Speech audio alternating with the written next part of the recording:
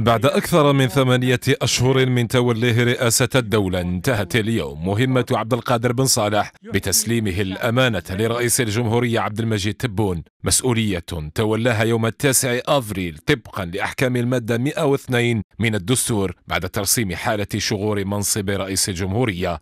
لقد مضت تسعة أشهر منذ أن دعتني ضرورة الواجب الوطني إلى تقلد مسؤوليتي رئاسة الدولة مسؤولية لم يكن يراودني فيها أي طموح ولم أكن بالأساس مهيئا للاطلاع بها ولكن ولكني فعلت من طرق حبي لوطني مهمة الرجل لم تكن سهلة بل كانت ثقيلة وصعبة صعوبة الوضع الحساس الذي عاشته الجزائر منذ انطلاق حراك الثاني والعشرين فيفري وخروج الجزائريين عن بكرة أبيهم. رفضا للأوضاع مطالبين بالتغيير حالمين بجزائر أفضل.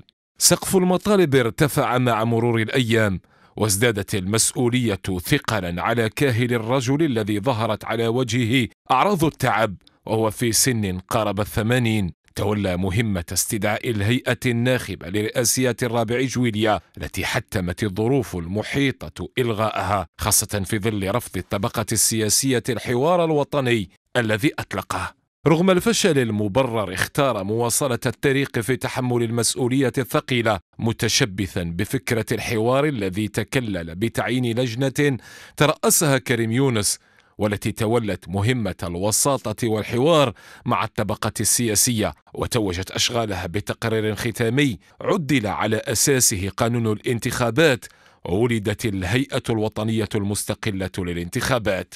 مجموعة الشخصيات على العمل القيم الذي أدوه في هيئة الحوار الوساطة والحوار.